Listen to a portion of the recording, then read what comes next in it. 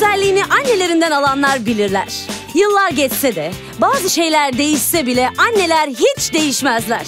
Gratis sunar. Annem hep güzel. Bu anneler gününde siz de annenizle birlikte bir zamanlar çektirdiğiniz güzel mi güzel fotoğrafınızı yeniden canlandırın.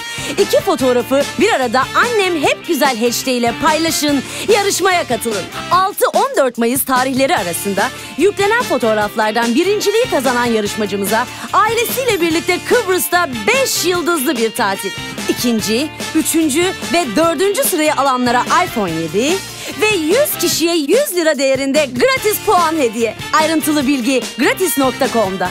Anneler günü sizinle güzel. Güzel bak kendine gratis